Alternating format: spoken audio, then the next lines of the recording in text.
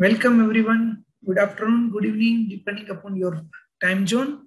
I am myself Anil Kumar Rawat, working as a technical expert in Oman Electricity Transmission Company. Today, I will be presenting the remote management of the protection relays, eh, which is used for the protection asset management applications. The application module is called eProtect. We will be also going through slightly on the ETAP remedial action scheme, one of the module we use for the load shedding protection scheme in the uh, for the 220 kV interconnection line to the GCCIA grid. First of all, we will be going through the agenda as a what is our who we are as a OETC introductions. Then after we will give you some project highlights. What was the challenges in our project implementations? Uh, what are the what were the our objective of this project? Uh, how we achieve that objective through the eProtect solutions. To achieve this objective, how workflow was made and how the communication architecture was implemented, how this solution uh, helped us to achieve our objectives. And at the end, also, we will going, be going through the 220 kV GCCIA interconnection network load shedding scheme uh, through the ERAS uh, remedial action scheme. First of all, I would like to give you some of the introduction about our company. My, our company name is Oman Electricity Transmission Company, which is a uh, main, main transmission company in Oman. In Oman, there is a two separate network. One is in north and another is in south network. We in south northern region transmission network we call as a MIS, main interconnected system, and another is southern is in the Dhofar regions. We are transmitting power from the generating station to the distribution load centers in all over the Oman through the, our 132 kV voltage level network, which have a backbone of the 400 kV and 220 kV network. We are mainly also responsible for the balancing, the generation, as well as the demands through the economic dispatch of the power. Our network consists actually total more than 90 grid stations. For that, we have three voltage level different 400 and 220 kV and 132 kV, more than 65 grid stations we have. Uh, in our network, we are getting power generated from the nine number power plant. Out of that, seven is the uh, gas gas power stations. Another one, one is photo PV's photovoltaic, and another one is the wind farm plant in the southern of the Oman. Our project highlight is we call as a, as a remote management protection relays and special protection scheme. In this project, we have actually more than 90 integrated integrations for the for more than 4,000 relays, which is all over the uh, Oman. Uh, our all the most of the protection relays are numerical relays, which have actually uh, one network connected for the time synchronizing on the uh, 61850, either on uh, and another uh, some of the older versions of the relays are on 103 relay protocol also. We will also this uh, special protection scheme implemented for the uh, fast loading uh, setting systems and uh, there are some action remedial actions for the uh, any uh, specific contingency in the, our, our plant. First of all, what was the driver of driver of this project?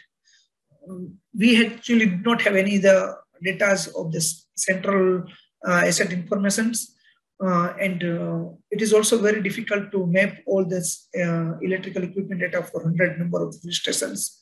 We, we have a uh, routine many incidents in the network.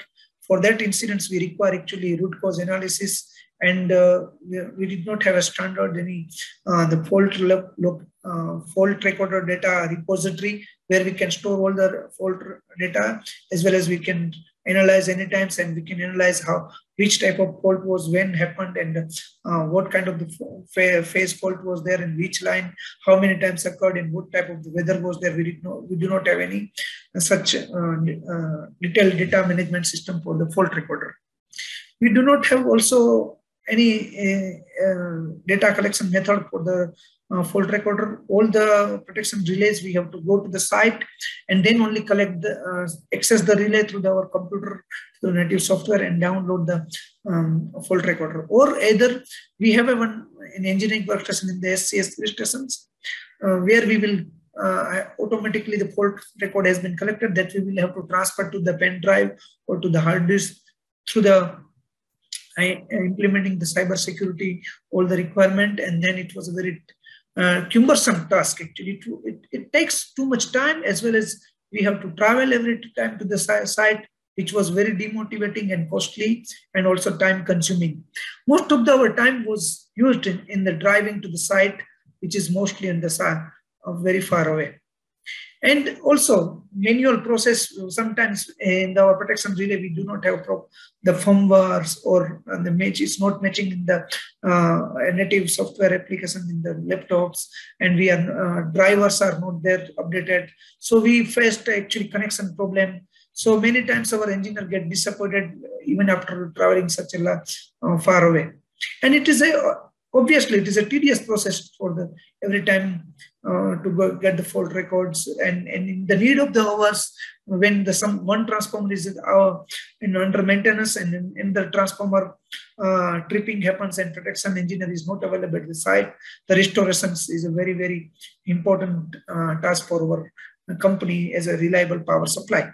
Hence we have to immediately mobilize our protection engineer to the site and which takes a long time actually so, and also another difficulties are that we have many different make of the protection relays, SEL, ABBs, Siemens, uh, Toshiba, GE relays, and also they have a different models ranging from the 1995 uh, to 2020. So uh, every time so we cannot find the uh, expert person for all the protection relays. Hence, we derived a project uh, and uh, we invited bid and the Mr. ETAP was the successful bidder for this project, uh, which proposed actually to implement the centralized software system, which will communicate to the, all the relays on, on the 61850 over Ethernet, and it will collect and store the data. It will have a central uh, setting management systems. It will have automatic retrieval of the uh, large amount of the data. It will also be able to uh, track the relay setting and notifications. It will also monitor the It will also monitor the any health and asset sales status of the um, uh, relays as well as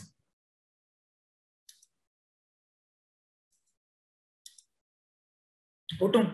It will also allow us to upload and download of the relay setting will have a remote access to the centralized system through the fast and reliable IP network, which is which has a backbone from the our MPLS uh, communication system of our own, our own uh, uh, communication department over the fiber network. So in this project, we would install the IED software and this will allow us to manage all the IEDs through the proprietary native software. It will allow us to collect all the fault records and related setting application to the centralized systems. Uh, eProtect software have actually uh, facility to manage, analyze, and all the protection related data from the one place.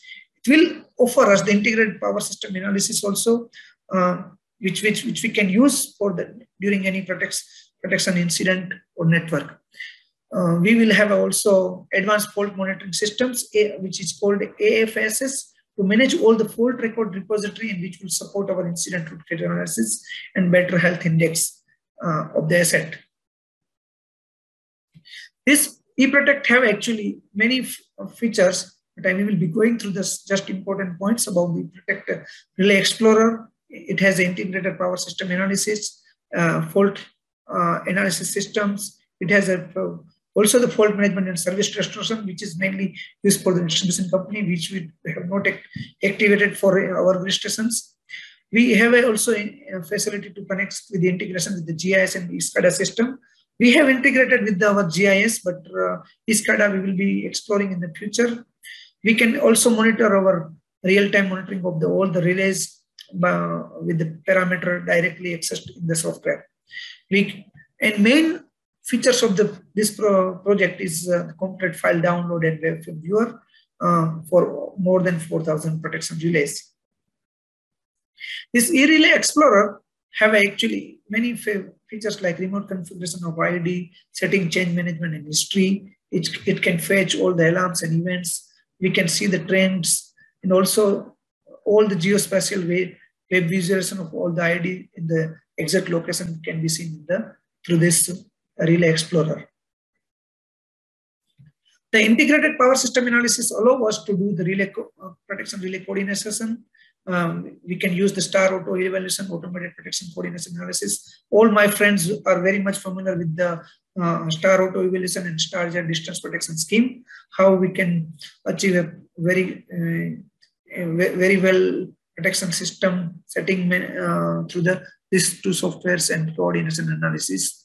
So after getting this all the relays, we will be transferring to the eProtect will transfer to the ETAP system and ETAP model system will, um, we, we will be evaluating all the relay setting for this coordination purpose. This is the workflow actually, the substation relays, then get gateway, vendor proprietary software in eProtect relay system, uh, Explorer and the ETAP power simulator is as a work, may, as a final uh, um, activating the applications which will verify the uh, our setting coordinates. What are the benefits? Okay, we have actually completely now digital twin model for the old protection relays uh, where, where we have installed the gateways. We can see setting change management can be achieved. We can track the uh, relay setting change and notification is also there. We have a visualization and evaluation. We can uh, monitor the our health of the protection relays. And as we have explained pre previously that advanced fault management system and import the protection device settings to the our net uh, ETAP model system. We can all the download setting we can download to the FTP on 61850. We, we have a, web interface to the mobile device also possible. This we will be exploring in the future. Right now we have not activated. We can we have also upload blocked the setting uh, uploading of the setting for protection relay remotely as per our cyber security guidelines. We have uh, activated this automatic notification for the setting change whenever there is a somebody change in the setting in the site. We will get the notification this existing uh, the previous setting and change in the settings. All this data will be commonly available for all site to the users through the VPN connection, we have a remote login possible for our engineers. So they will be able to see from anywhere in the network. We have also integrated with GIS also. This software actually eProtect have a main feature is the digital twin model. Whatever we have exactly uh, at the site, which is uh, the physical asset, which we, we have converted into digital uh, map, mapping system uh, it, we have integrated with the S3 uh, our G, GPS systems also, GIS systems. We are achieving the complete digital transformation uh, through the ETAP ICE controllers. ICE controllers, uh, we will connect, communicate to the relays on 61850 and 103 protocols. We and all this again substations are connect. Uh, these gateways are connected to the, our networks systems and uh, as well as it have a feature to connect with our SCMS also. But uh, we will be connecting to the SCMS later stage. Right now, all uh, our gateways are connected as an individual network around more than 55 gateways to the uh, central station. What are the digital twin features? Uh, we have seen actually is mainly we can categorize as intelligent models. Through that, design and analyze can be possible, validate and deploy, through intelligent operations, we, we can achieve through the control, maintain, and optimization of the full network. This uh, project we have implemented uh, as per this uh, architecture. All the protection relays was connect, connected to the one of the Ethernet switch, uh, which we use for the time synchronizing systems. And then all this switch was connected to the one of the uh, gateways of ICE gateway uh, provided by ETAP and all these gateways again was connected to the, our Oman electricity transmission telecom network. And all the telecom network was connected at the centralized station. Uh, and one LAN was created through the fire and everywhere uh, all the cyber security and firewall implementation was uh, implemented as per our uh, agreed frame architecture. At the end, we was able to get all the relay fault records in the one of the servers and the one of the another server we was storing all the fault, uh, fault records in one of the workstation we use as a application server.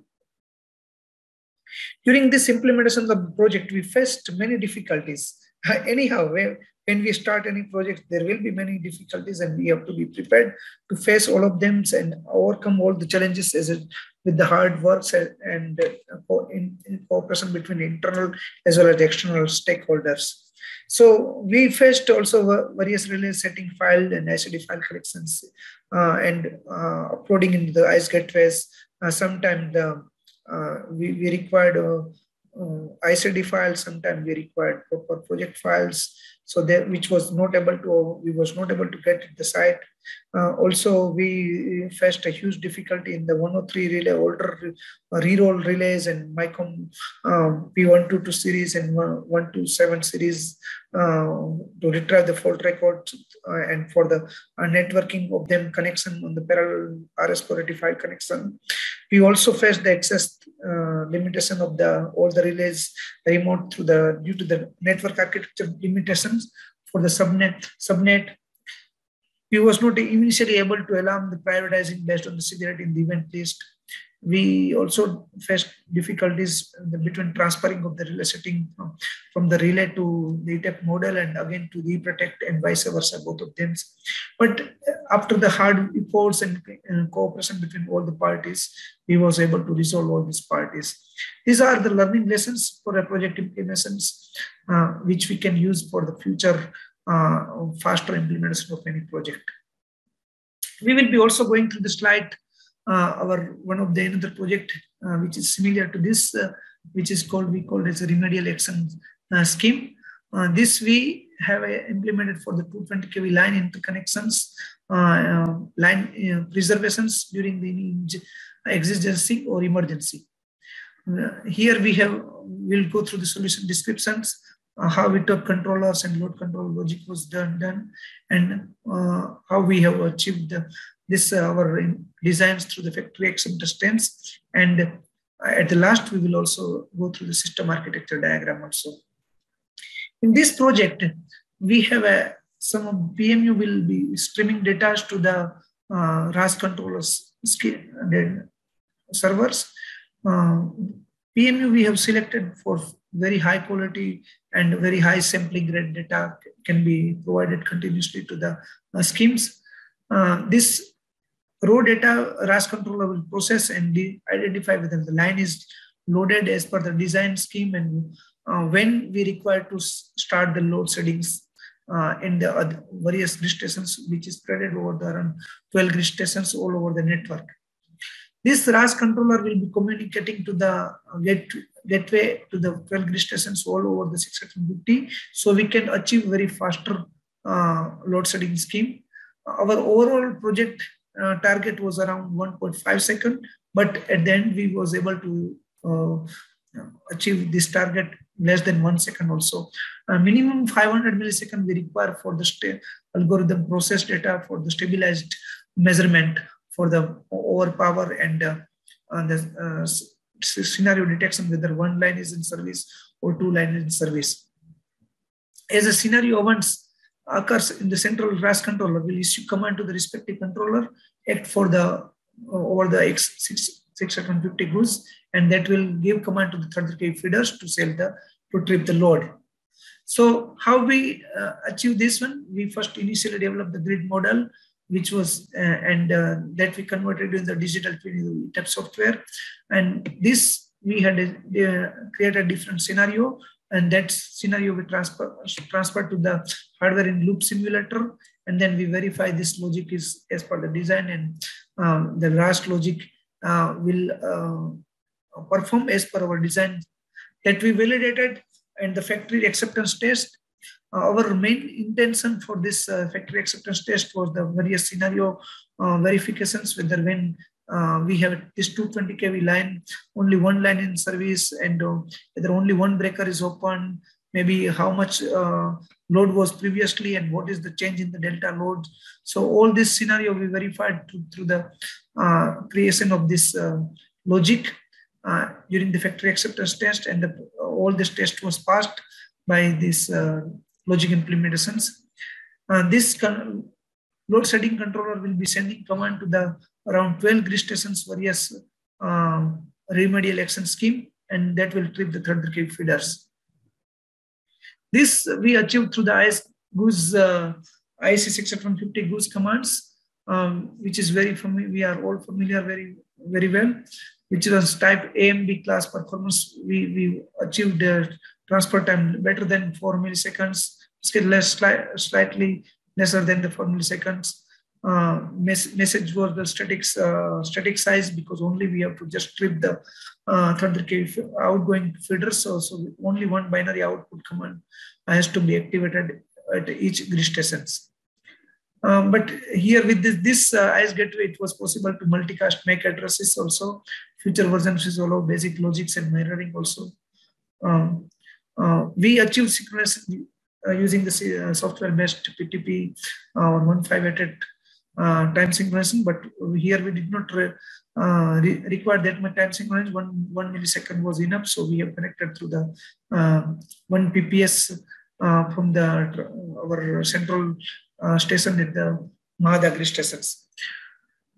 We will not be going through the detail through the load control logic as, as it very complex uh, to detect the overloading of these lines during the existence in many of the power plant, but uh, we have achieved it through the different uh, scenario development. Uh, this was the, our factory set, test setups where we simulated through the hardware in loop uh, through the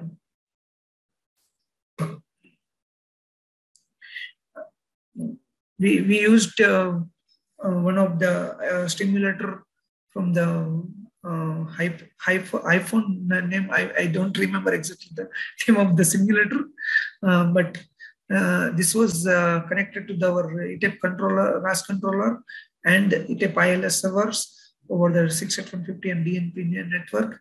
And then we created different scenario through the PMU simulation. This is the system architecture we deployed for the uh, uh, at the site which is connected to the around 12 grid stations where all the gateways was connected. And this gateways we have will be having a four output command to trip the third cave feeders. This controller will get the uh, commands as per the load setting requirement from the uh, ILS as well as the uh, RAS controller. It will detect how much load to be detect, uh, detected and then according to that output command will be activated. uh, according to the uh, overloading of these uh, lines connected to the GCCI connections. Uh, thank you everyone i hope uh, this uh, our project will be sharing sharing of this project will give some some of the lights and confidence for other fellow our utility peer protection engineers or the system designer to implement such type of the cases in future once again thank you everyone and have a nice uh, Uh, interactive uh, for the presentations to everyone.